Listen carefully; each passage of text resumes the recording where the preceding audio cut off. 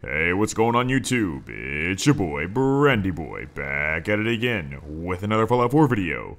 And for this video, I'll be showing y'all how to run Fallout 4 with copious amounts of mods. I've been getting a lot of comments asking me how I'm able to play Fallout 4 with 600 plus mods.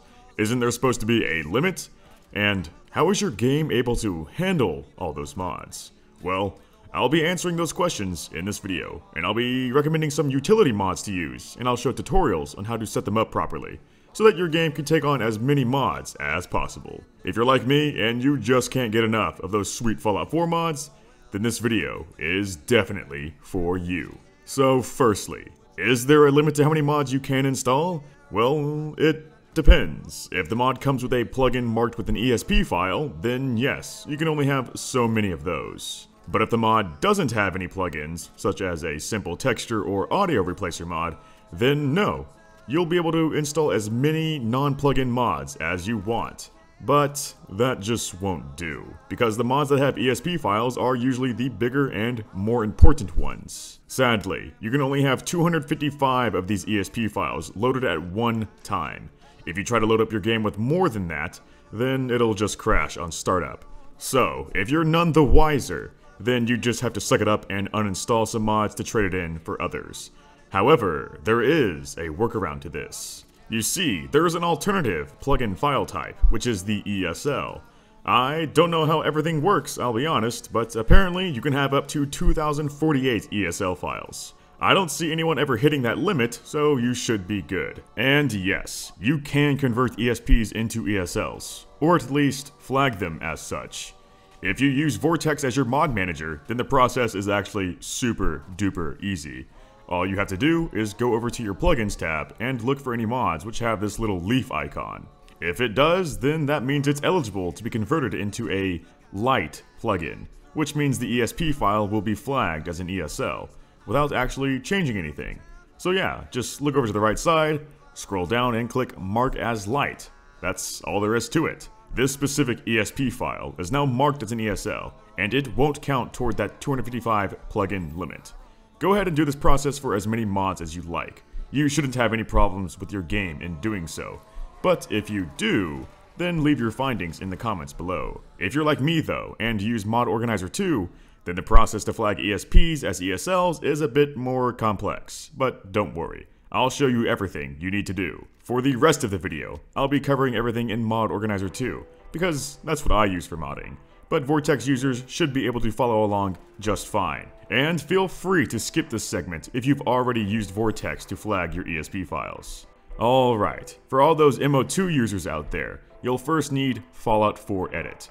I'm hoping you already have it installed, but if not, don't worry, I'll show you how to do it real quick. So go ahead and navigate to the Fallout 4 Edit mod page, link in description, and then download it manually. Once it's done, put the zip file anywhere you'd like and extract it to a folder. I decided to put mine on the desktop. Then go to your newly unzipped folder and launch Fallout 4 Edit.exe. But after you do that, you can close out of the application. Now, since we're using Mod Organizer, we'll have to add Fallout 4 Edit as an executable to the manager itself. Look up and find the little gear icons and click on it. This is where you can modify and add executables. Click the plus to add a new executable and then give it a proper name. Then you'll have to click the three dots next to binary and tell MO2 where the exe is located. It's in the folder that we just made earlier. Once you got that, click apply and OK, and you're good to go. But that was just Fallout 4 Edit. Next up, you'll definitely want to download this handy tool called ESLify. It automatically flags ESP files as ESLs, so you don't have to worry about manually converting all of them. Again, you'll have to manually download this one and then extract the RAR file to a location of your choosing. Take all the files from the ESLify folder and drag them into the Fallout 4 Edits folder. Then go back to Mod Organizer and add ESLify as its own executable. You'll want to select the R88 ESLify.bat. Click Apply and OK, and that's all set up. Now, finally, we can launch the ESLify tool from Mod Organizer. When the command prompt shows up, type FO4 and then enter. Then Fallout 4 Edit will pop up using the ESLify script. Here's where you can select all the mods you'd like to flag as ESLs. If you've done this process before, then you may get a dialog box asking you to continue or revert the flagged ESPs back into normal ones. I'm going to click continue because I'm trying to flag my ESPs as ESLs. Once it's all done processing, it'll ask you again which mods you'd like to convert. Choose which mods you'd like, then click OK. After that, it should finish up rather quickly. And all you have to do now is simply close out of the application. As you can see here, I've got a lot of plugins, 462 to be exact and that's well over the 255 plugin limit. But you see, half of those are ESL files, which don't count toward that limit. So without this handy tool, I'd be missing out on a lot of mods.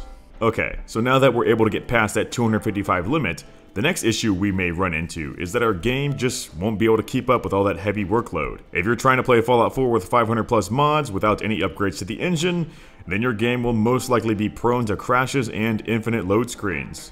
So, the answer to that is more mods, of course. What else would it be?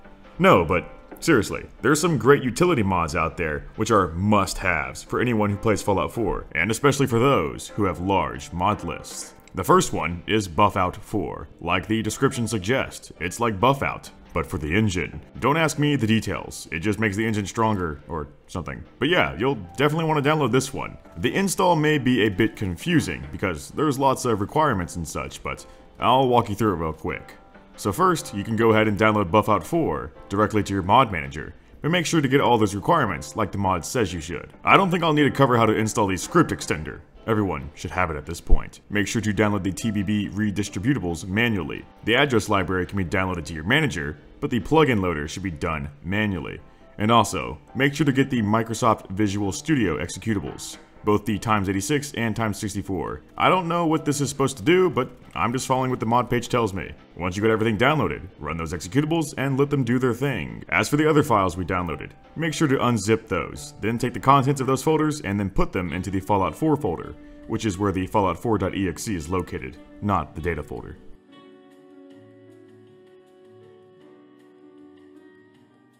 Back in our mod manager here, make sure the address library is activated along with Buffout 4 of course.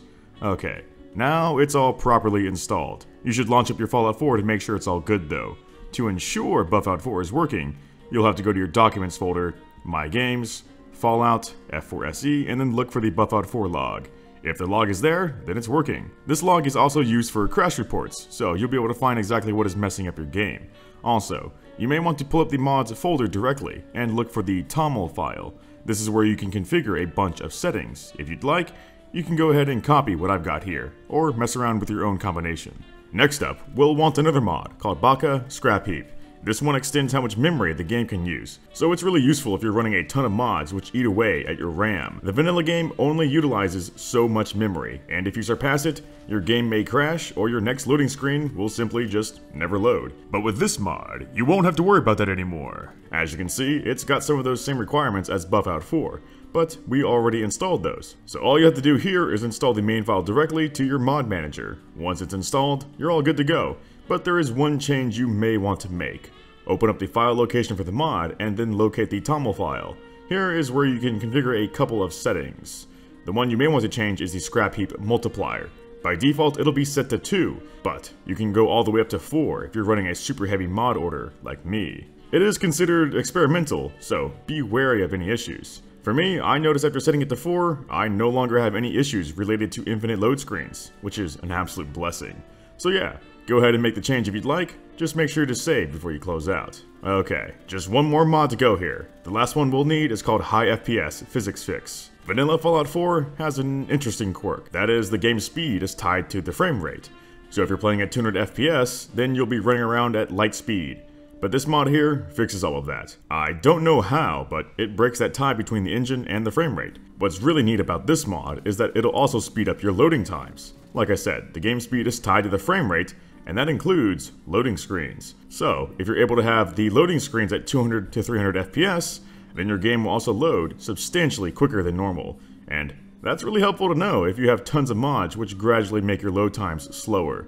But again, this mod fixes that, and it's easily a must-have. If you'd like, you can also go directly into the mods folder and edit some settings to your liking. You may want to change disable black loading screens and disable animation loading screen to true, which will speed up your load times even further. Personally, I don't like disabling the loading screen animations because it just makes your loading screens look like they're frozen. But hey, it just might speed up your loading times by a few seconds, if you really need it. Alright, so finally, after all of that, our games should be running perfectly smooth, with absolutely no issues whatsoever, hopefully.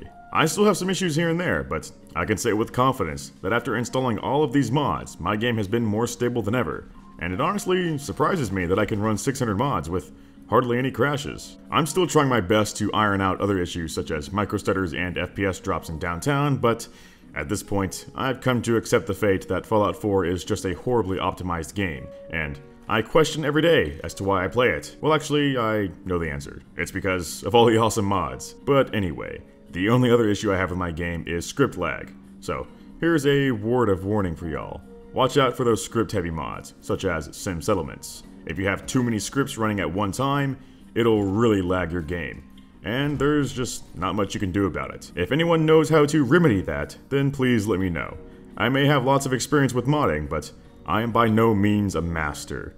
Nonetheless, I hope y'all found this tutorial helpful and are looking forward to playing a heavily modded game with minimal issues. If you liked the video and found it helpful, then make sure to overload that like button and subscribe if you want to see more content like this. And I'll see y'all in the next video. So it's really useful if you're running a ton of mods, which either... Fucking hell. This specific ESP file is now marked as an ESL, and it won't count toward that 200... Fuck!